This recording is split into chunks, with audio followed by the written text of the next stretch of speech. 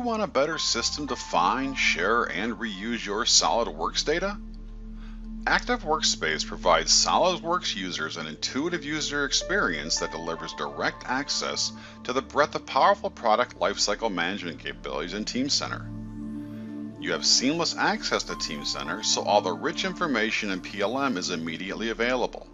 For example, you can find what you need, participate in change processes and workflows, reuse parts and components, and see how designs are tied to requirements.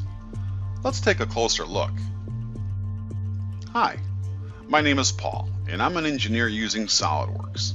For the first time, I can participate in my company's engineering change process without having to leave my SolidWorks session.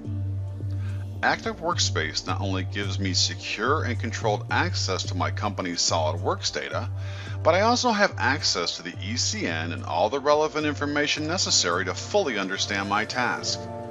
In just a few clicks, I can easily review the ECN details, the affected parts, and any non-CAD data that it provides supporting information on the change. I can even review the details on the overall status of the ECM process. Active Workspace makes it straightforward to locate the exact parts I need to work on. Once I've completed my work, it's simple to store my data in Teamcenter and complete my task.